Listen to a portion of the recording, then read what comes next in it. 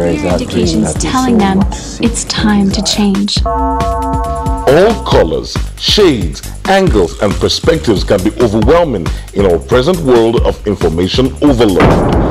This is introducing Ground Zero. Ground Zero is a current affairs discussion phone-in program covering topical issues in the polity.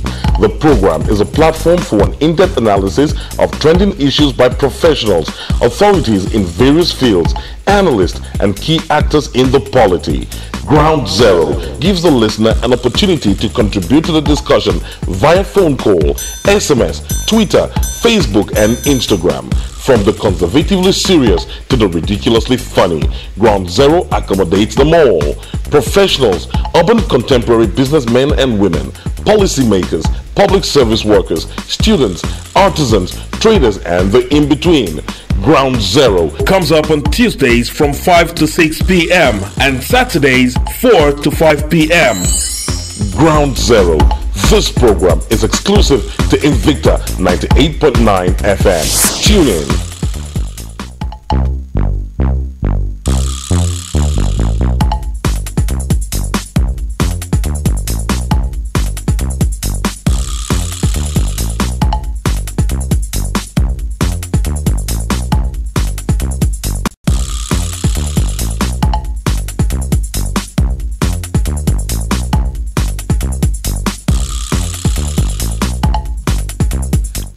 Another lovely Tuesday evening, and you're right here tuned to Invicta 98.9 FM. It's time for the Never Dull Moment program on radio, Ground Zero. Ground Zero is a program that's designed to bring up topical issues in the polity, and with uh, guests and analysts in house, we try to uh, explain these things and have a clearer or better understanding of all of them. And today it's not going to be different because I have a full house. When I talk about a full house, I mean a full house in its true sense.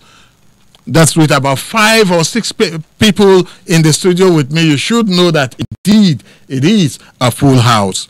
And what are we going to be talking about today? We'll be talking about something that concerns everybody and you need to know very much about all of these. But first, let me tell you how you can be a part of the program Ground Zero. You can go to our various social media handles, starting from Facebook. That's at uh, FM Kaduna. That's the Facebook page where you can see the post. The post is already up. And also follow our live video feeds. You can also go to the Ground Zero program specific Twitter handle where we are also streaming the live video on Twitter and it's at ground 0989 ground 0989 and of course you can go to the invicta fm ground zero handle which is at invicta fm 989 on twitter of course my personal handle is ehis underscore peacemaker ehis underscore peacemaker and with that, you'll be able to contribute. And of course, at some point in the course of the program, we would open up the phone lines where you can drop your messages, call us, and uh, let us talk about it. Today, on Ground Zero, we'll be looking at disaster risk governance and open response to recovery framework. Disaster risk governance and uh, open response and uh, recovery framework. This is what we'll be looking very, very uh, mouthy. but the experts that I have in the studio, they'll get to break it down so that everybody can understand what we are talking about. But I know that you can pick out disaster, you can pick out risk, you can pick out response, and you can pick out recovery we'll knit all of this together and you have a better understanding of what we'll be talking about on the program today. And of course, we have guests in house and uh, uh, both from the government angle and of course from the civil society. And uh, we'll all be looking at it together. Let's introduce the guests that we have. I'll start from the executive Secretary of the State Emergency Management Agency, SEMA, in the person of Abubakar Hassan. You're welcome to Ground Zero and you're welcome to Invicta FM. Good afternoon, listeners out there. All right. I also have with me in the studio this evening a gentleman engineer from the Kaduna State Road Agency, Kadra, in the person of engineer Ibrahim Balarabe. Engineer Ibrahim Balarabe, you are welcome to Ground Zero. Yeah, oh, good evening all. Thank you. All right. I also have with me someone from the civil society, not just one person, but two persons. I would have loved to call her her normal title, but I know she does not want me to call her her title. But I'll still call her. She's the Saronia Civil Society, Saronia Environment, in the person of uh, Gloria Kasang Bulus. She you will get to meet her in the course of the program. I don't want to talk more than that. Okay, we also have uh, another gentleman from the civil society organization and uh, also one working around environment in the person of Dangwa Abbas Danjuma. Danjuma, you're welcome to Ground Zero. Thank you very much, Ayiz, and good evening to the listening public over there. Okay. Also, we have someone from uh, Agric, well, uh, uh, from the Ministry of Agriculture. He's also here today so that we'll talk uh, about all of these issues together. Because, like I said at the beginning of the program, when you hear of disaster, hear of risk, hear of response, and hear of recovery, you know that it's a whole lot of things, and uh, it also uh, is something that we'll touch on our survivor. Okay, I hear I have with me in the studio an assistant director irrigation from the Ministry of Agriculture in the person of uh, Malam Khalid. Malam Khalid, you're welcome to Ground Zero. Good evening, everyone. All right. So, basically, those are the guests that we have in the we need to do is to move away from talking about disaster to understand this in its proper perspective. I think the, the, the most important is for you to look at what exactly leads to a disaster. You understand? And then why would it lead to that disaster and then it gets to unsettle everybody? I think the most uh, important uh, way to look at it is to look at hazards as a whole because it is the hazard that creates the potential for a disaster. So I think it is best uh, to simplify to say communities around the world, for example, also in Kaduna State, should be looking much more in terms of what are those hazards which we cannot do away with because we keep developing, we keep expanding. So the the fact that hazards will continue to be with us, Yeah. you understand, is just a normal thing. But what are these hazards that are within us? You understand? There's nothing like uh, natural disaster, but natural hazards. Yes, we can run away from natural uh, hazards or self-induced man-made hazards, but we can do. We can. We have a, a role to play in ensuring that we identify these hazards so we know them. Then exactly what we need to do as people that live within these hazards to be able to protect ourselves against what the impact of these hazards that are either naturally induced or that are man-made induced. So it's in the simple term, it is about what is there in front of us that is or has the potential to what lead to a disaster. And uh, there are so many of them. For example, the natural ones, for example, flooding. You understand?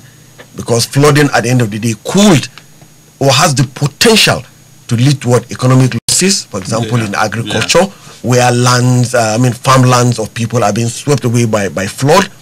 Um, we have, for example, uh, a human-induced issue around understanding what level of energy that comes into homes because you hear once in a while people talking about the fact that there is a fire in, a, in a house and all you think about is the fact that oh it's from an electric uh, uh, fault. You understood? The level of energy the quality of course of those items that we put in the house where energy gets tran- transmitted before you even use it so now quality comes into play. So those are human induced issues that are hazardous that could actually lead toward the potential for loss, either of lives or property. So in proper perspective, I think what we need to be looking at is what are those hazards that are within us that will continue to be with us, but that we need to, what do we need to do as a people to begin to identify these hazards, okay, the potential that they all have that would lead to disasters at the end of the day, and look for ways as much as possible to reduce our vulnerability to those hazards. Yes, reducing our vulnerabilities to those hazards is very important because just like you pointed out, whenever it happens, it would lead to economic loss, it would lead to loss of lives, it would, in short, devastate uh, people, their livelihood, and all of that. Now, you know, while I was introducing the guest, when I mentioned CADRA and the Ministry of Agriculture, many people will be thinking, what do they have to do with this? But unfortunately, I know they have a whole lot to do with it because uh, the job that SEMA does, I'm sure it's not SEMA that does it alone. It's in um, it's in collaboration with so many organizations and all of that. But SEMA, as the focal point in managing disasters and all of that in the state, will take the lead. Now, I would like to come to KADRA, uh, Engineer Ibrahim Balarabe. We just talked about, uh, we, we've gotten a broad perspective to what all of these uh, hazards could be. And uh, how do you think or what role do you think your agency has to play in risk reduction when there is a disaster or in generally mitigating against disasters happening in our environment? Uh, good evening, gentlemen. Yes, good evening. First of all, I would like to thank the Executive Governor of Kaduna State, Malam Nasir El-Rufai, for giving us opportunity to, to display our talent in terms of engineering profession. Uh, I think it was 2019 that the Malam, Governor Malam Nasir El-Rufai introduces uh, Urban Renewal Project. Yeah. So in this Urban renewal project, there are so many components under it, and we, the KADRA, we are responsible of roads. So in preventing this disaster, we took everything into consideration in constructing our road to avoid these uh, disasters. Okay. I will give you an example. Yes, please. Uh, uh, with this uh, Urban renewal project road component, you know, we have to one, identify the road, uh, two, what are the, on the road, example, you know, there are some measures like uh, in driving safety, uh, some of our people used to dig uh, road for either uh, services like water Yes, and yes. this uh, And even communication. create their natural bombs. Yes, yes, yes, yes. So we, we introduces uh, what we call uh, service ducts. okay. Service ducts whereby during construction we provided something that they will rely on. So that when they want to lay their cables or pipes, they will just follow those dogs. They don't need to break the rules. and- Okay, okay, yes, okay, yes. okay, and okay. another thing, uh, for fire services, you know, Yes. they, they need water. Yeah. Uh, they to, in all our roads, this Urban renewal road, we there is uh, the- fire hydrants, Yes. water hydrants, We- at they- strategic location Yes, yes, we took all that into consideration. Okay. Yes, these are the some of the factors that we look Okay. in.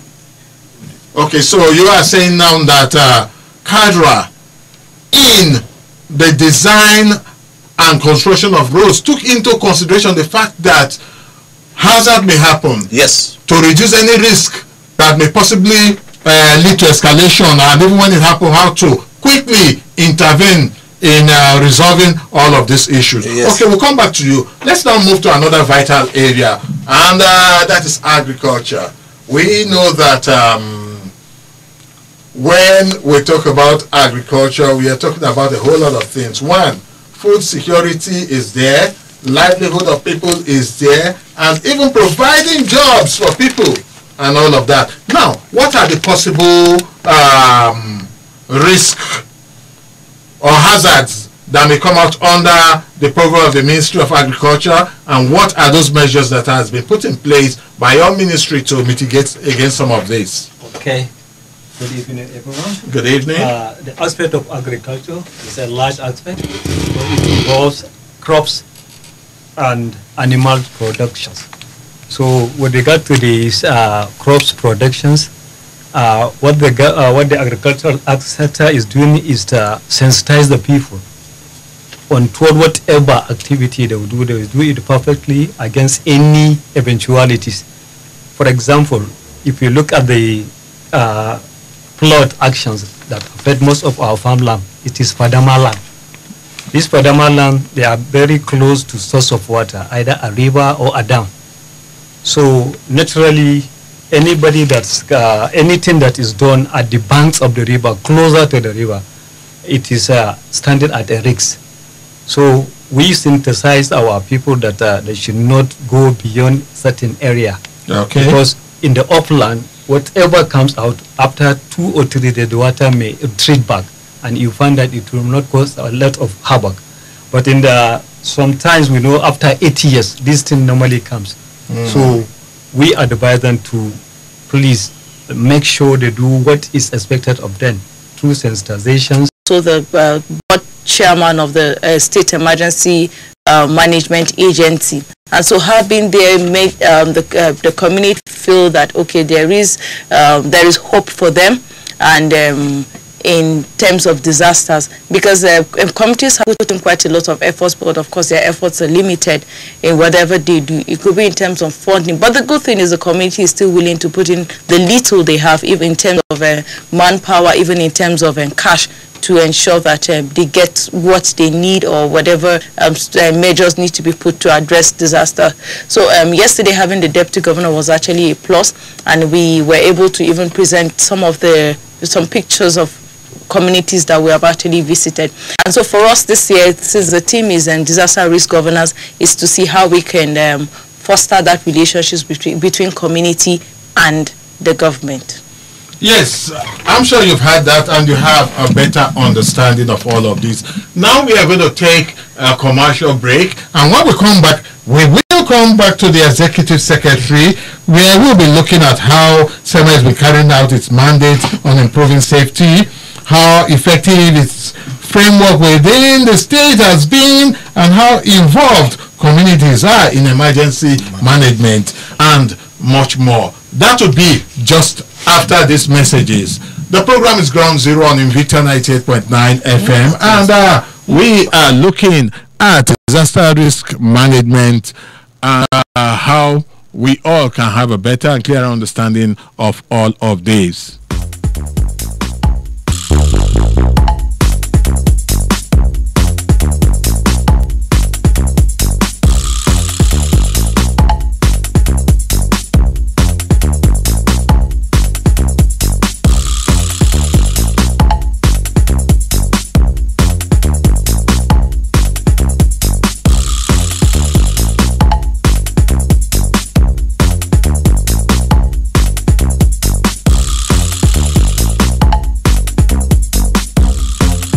Right, welcome back from that commercial time out. You're still listening to Ground Zero right here on Invicta 98.9 FM. And uh, today on the program, it's a full house, and uh, we are basically looking at the disaster risk governance and open response recovery framework, and with special emphasis on the International Day of Disaster Risk Reduction. And uh, like I said, we have the Executive Secretary of the State Emergency Management Agency with us in the studio. And we've been looking at some of the things that they do, but I do want him to help us in summary because we are really running out of time.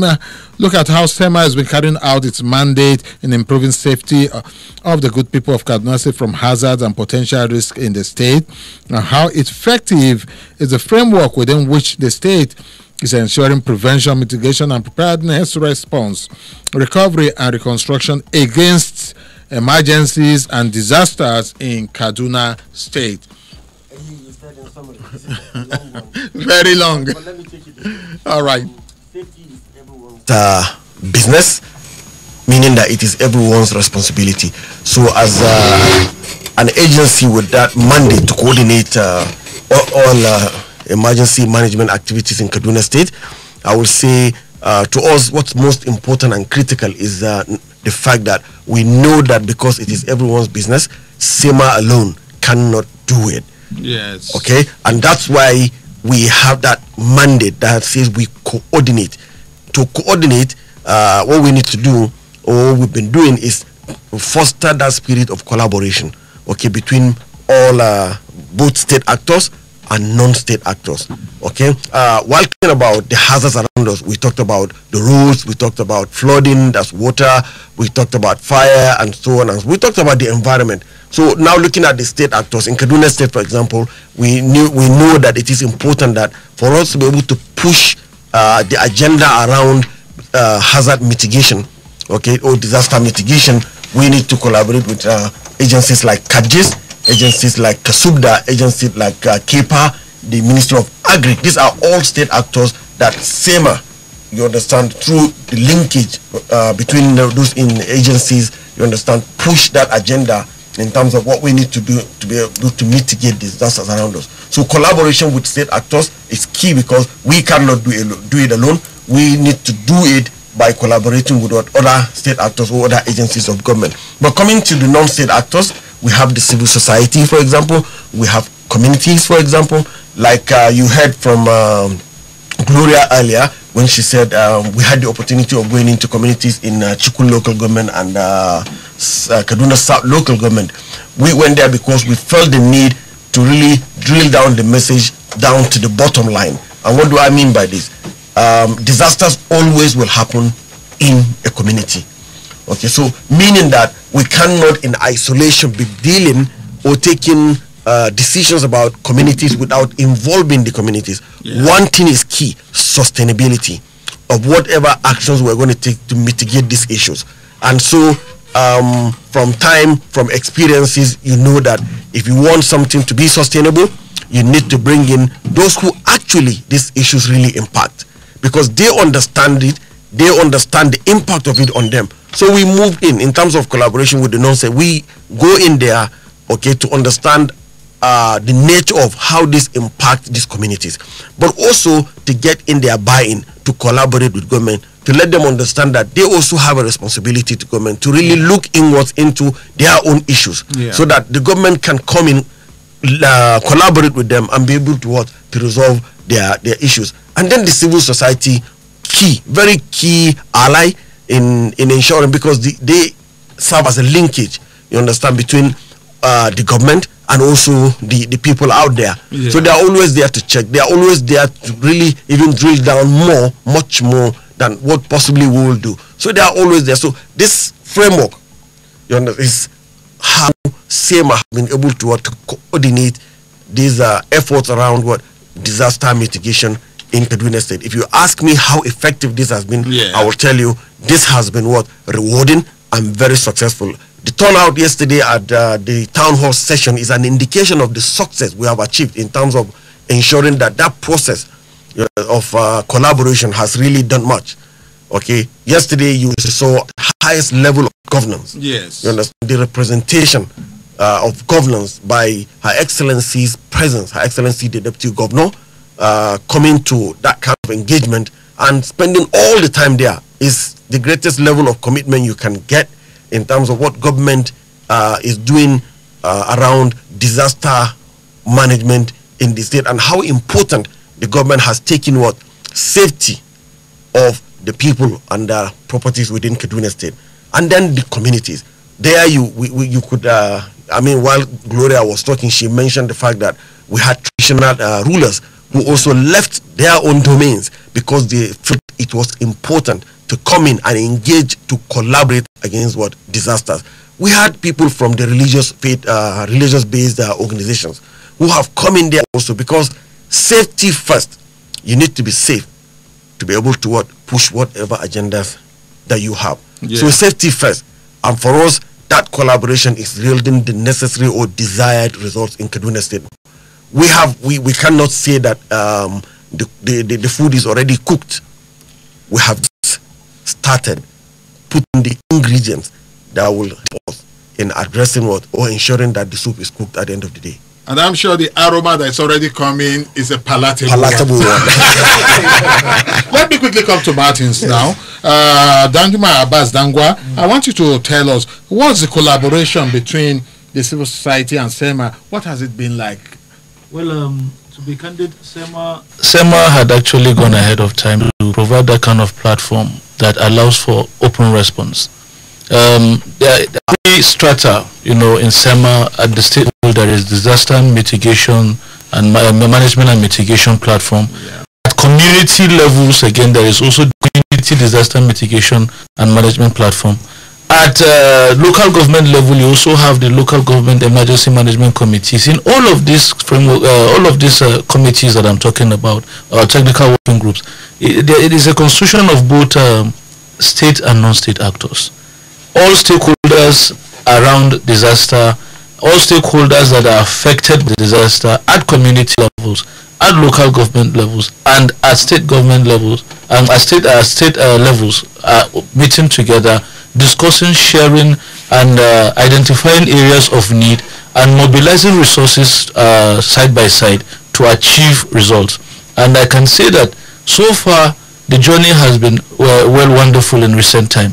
In recent time because uh, for for the first time we are now seeing SEMA really coming out from just doing the behind the desk work, but right uh, and then uh, SEMA is no more winning alone. Yeah. SEMA is now leveraging on most of these platforms to really drive down the message, to really get everybody uh, talking along, everybody getting involved, everybody's perspective also being accommodated because in solving the problem you are sure that you need to the, the person who's uh, who's who's affected by that problem to really identify how that problem impacts on him and then you are able to uh, profile, ask from him again what he feels the solutions are, and also make that input, that additional uh, input to what that you can do. So, so far, I can say that uh, the journey has been promising because it's a work in progress. And unlike other platforms that are really um, called out around the open government partnership, I think SEMA have actually provided that kind of table where co-creation can happen and for us in civil society, we think that these are the real ingredients that can help make sustainable whatever plans and initiatives that we are having on ground to avert, uh, mitigate, and uh, and also respond effectively in the event of disaster. Yes, it's ground zero on Invicta 98.9. I still have so many questions to ask, but uh, I'll not be doing justice to the listener who is the reason why we have this program. So it's about time we open up our phone lines. Already we have a couple of persons uh, on our social media dropping questions and liking. 081400989 is the number to dial and 07087800989. You can go to our Facebook page, Invicta FM Kaduna, and your comment or your thoughts. Also, you can go to ground 089 and also drop your comments and thoughts. Hello, good evening, welcome to Ground Zero. Yeah, hello, good evening, sir. Good evening, you are welcome to the program. What's your name and where are you calling us from? Yeah, this is Gimba from Baba, sir. How is work? Fine, thank you, and how is yours? I'm doing thank God. All right, Gimba, let's have your take. Yeah, actually, you can't talk about disaster without discussing the... Hello? Yes, I'm listening yeah, as an individual who understands the importance of fauna and flora. Um, some, some construction will lead to the destruction of, of fauna and flora. Example of such is the construction that has been done in the uh, rough road or something of that nature. Okay. There are some, yeah, there are some trees there who are almost like hundred years. Mm-hmm. Yeah. So below that. So, to unfortunately, Hello, Gimba. Oh, we lost Gameba. We lost Gameba. He was really uh, talking about something very, very important about those trees that we are lost in the course of construction, constructing those roads in town, part of the urban renewal. Well, I wouldn't know what plans are on ground for those particular trees. Well, let's take all the calls. We'll respond to all of the questions at the same time. 081 and 070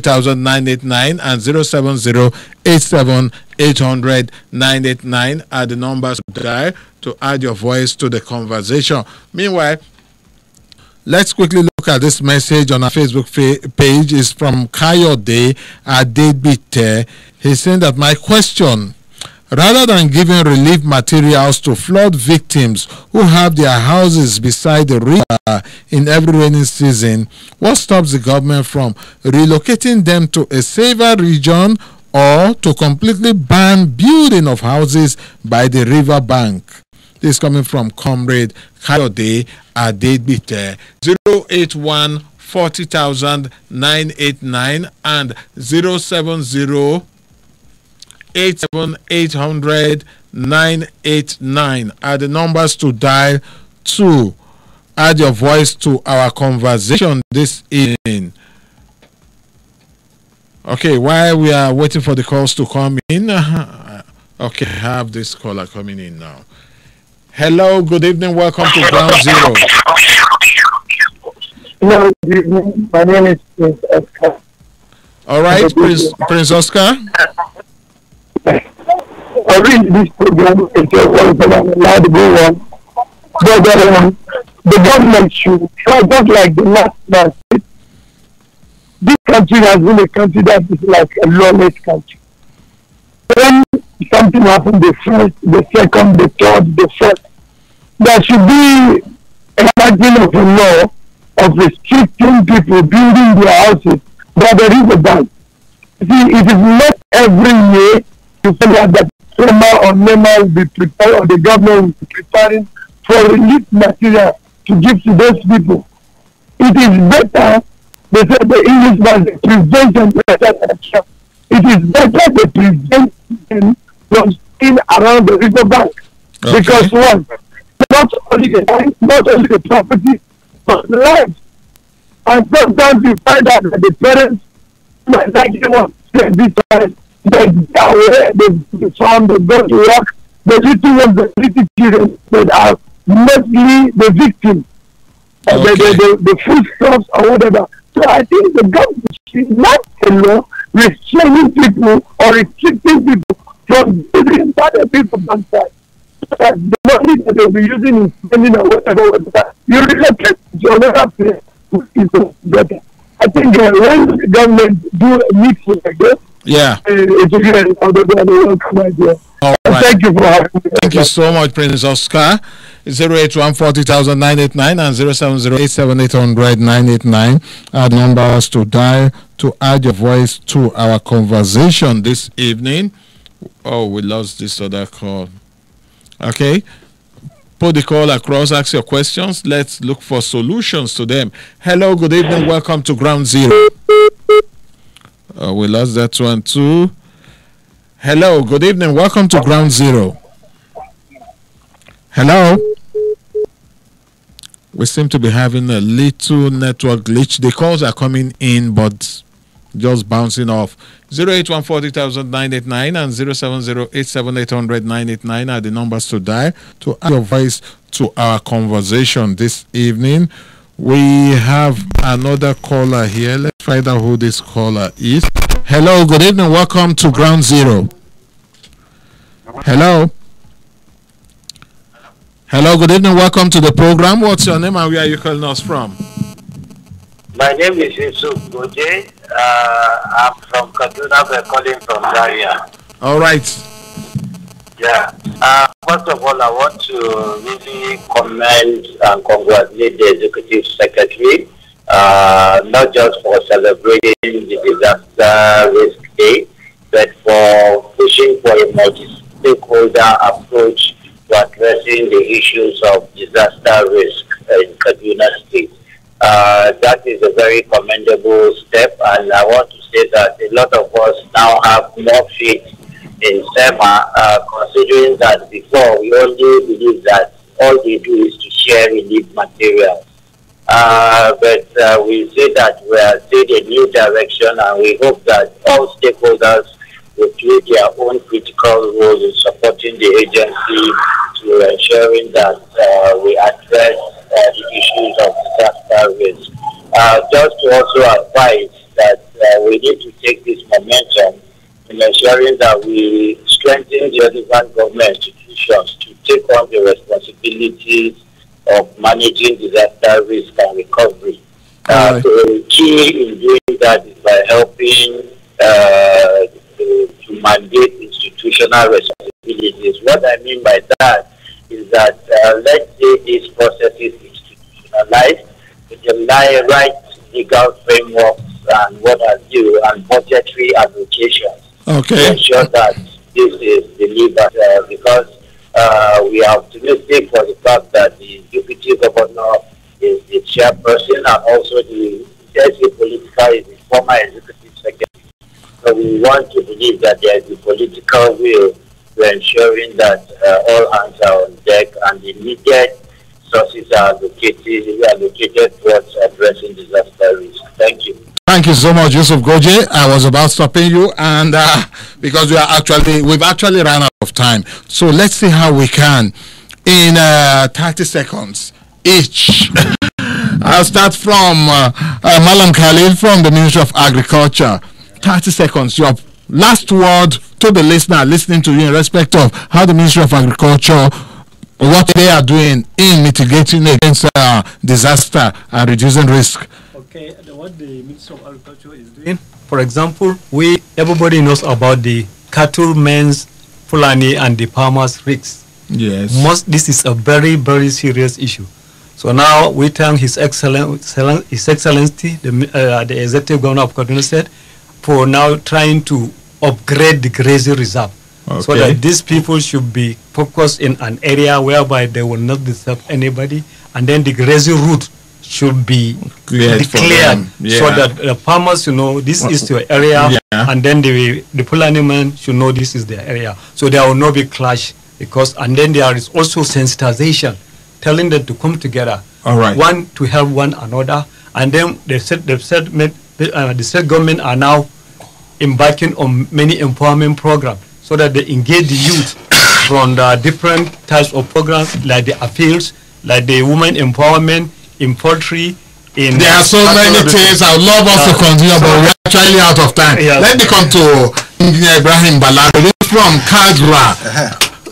30 seconds. Yes, also. we I, I, you're supposed to give you more than 30 seconds. I did. I was uh, supposed to give you even 10 minutes, but Yes. we're actually running out of time. I want to answer that uh, favor Yes, that yes, in respect of in it. respect of That we are removed and not yes, returned. yes, it's, it's, it's not not returned.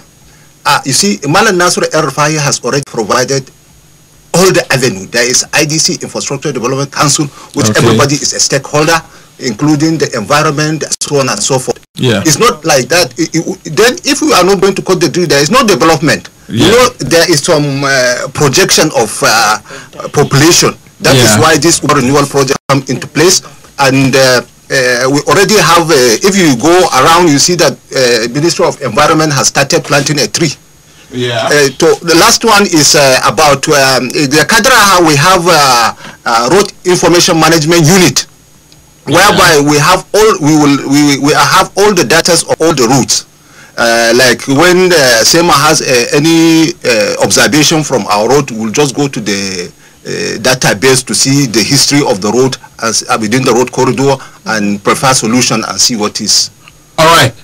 Uh, we'll come to the executive secretary now. Since we gave the others 30 seconds, we'll give you one minute. SEMA truly appreciates. wow! Thank you so much. Thank you so much. And Martin's your party shot. Well, um, my party shots will just be basically to bring in the reports from the citizens. One, uh, yes, we want citizens to stop building houses on the banks of rivers, but again, they cannot stop doing so as long as uh, government layouts are not within the reach of the poor to access. One. On the second, on the second issue, on the second issue, there is the issue of road maintenance, where we have noticed that consistently people are disposing refuse into drainages. And there are places where we've gone to see again that drainages are not being clearly properly maintained. You see people evacuate uh, silt out of their drainages put it by the roadside only for the rain Rain to to fall and send it back because there is the- no collection uh, mechanism in place. So these things are very important. and then there is the issue around around around uh, around uh, agriculture sir wherein our farmers are being battled with climate change access to quality seeds access to quality inputs is eluding them this covid-19 lockdown really exposed some of these challenges urea fertilizer was sold from 7,000 naira to 12,000 naira. We, we, we want we, to see how the state government begins to invest so much in protecting livelihoods, especially those of smallholder farmers in agriculture. And to Gloria Kazambulus, your party shots, 15 seconds. we need to get back to the drawing board. We need to form synergies. We need to form collaboration from different MDAs and even the community. We need to work together because it is not a one-man's business. All hands need to be on deck. Just like we always said when we're pitching the climate message, I'm also saying it in terms of disaster. We need all hands must be on deck.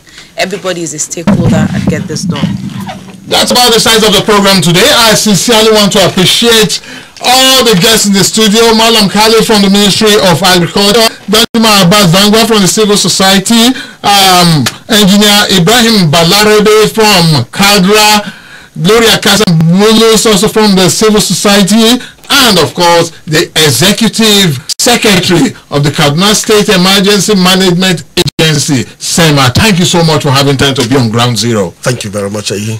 I'll be on on Saturday again for another package of the program. Between now and then, keep the dial on Invicta 98.9. Like always, plant the tree today, water it, and watch it grow. May the good mighty Lord bless and keep us all.